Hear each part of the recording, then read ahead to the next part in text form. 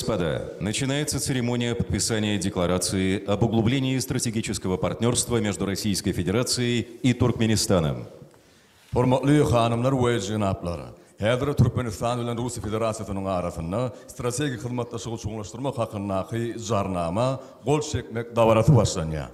Президент Российской Федерации Владимир Владимирович Путин и президент Туркменистана Şiberd Muhammedov we Russiya Federasyýasynyň prezidenti Vladimir Указом президента Российской Федерации за большой вклад в укрепление стратегического партнерства между Российской Федерацией и Туркменистаном орденом дружбы награжден Берды Мухамедов Сердар Гурбангулеевич, президент Туркменистана.